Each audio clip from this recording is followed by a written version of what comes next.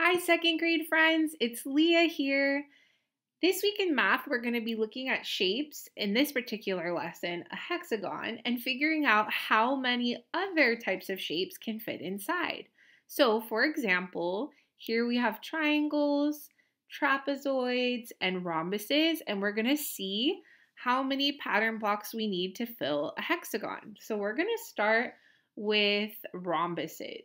So I'm going to drag my rhombus up to my hexagon. Here's one. Then I'm going to drag the next one. And the directions say to rotate a pattern block, tap and hold a corner and drag in a circle. So I'm going to drag this one over. That looks close enough. I'm going to put that one there. And can you tell how many more rhombuses we need by just looking at it? Looks like we need one more, but let's just check. Is that the right way to drag it? Oh no, what's happening?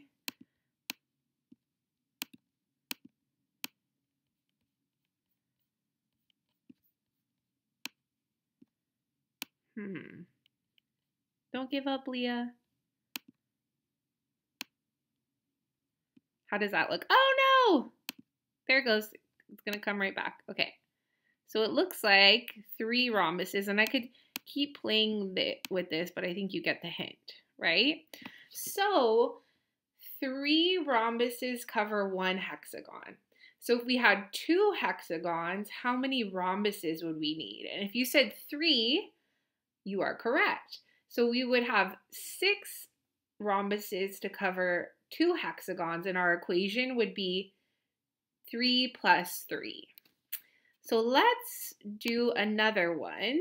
Down here it says number of hexagons and number of trapezoids. So let's go ahead and try this next one. So if I take one of these trapezoids, oh wow, I can see that one trapezoid is one half of a hexagon. So I need to use that tool to turn this one. Hey, oh my goodness. Oh, Leo, what are you doing? Wow. I'm sure you're going to be way better at doing this than I am. Okay, that looks close. All right, so it looks like one hexagon needs two trapezoids, and I figured it out by um, putting one trapezoid and one trapezoid. So my equation is just two because I only have one hexagon. So how many trapezoids will I need for two hexagons? Well, I know that I'm going to need four trapezoids because 2 plus 2 equals 4. And my equation will be 2 plus 2 equals 4. Okay.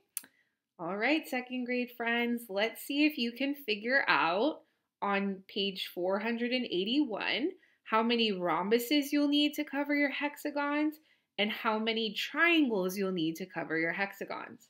Good luck!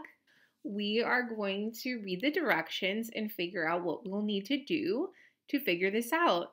Inside your math folder, Allison printed out a piece of paper that has lots of pattern blocks on them, and you can cut them out and use them to cover the shapes inside your math booklet.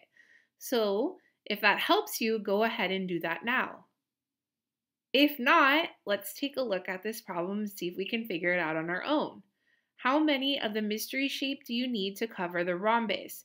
Use the pattern blocks to help you fill in the rest of the table. So right now I'm going to visualize. It says here one rhombus equals two mystery shapes. So I'm going to ask myself, hmm, what shape would I need to cover a rhombus to have two different parts? So I'm thinking that this mystery shape is probably a triangle. So if we have two rhombuses that we need to cover, right? We would need how many triangles? Four.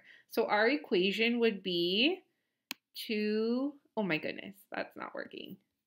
How do I draw? Two plus two.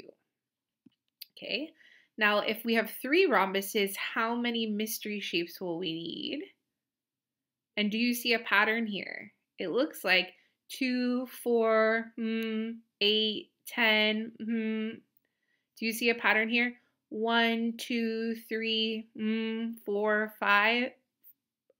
Oh, I said the 4. Oops. 1, 2, 3, mm, 5, 6. All right, Super Squirrels, go ahead and complete this activity and see if you can figure out what our missing numbers are in the table.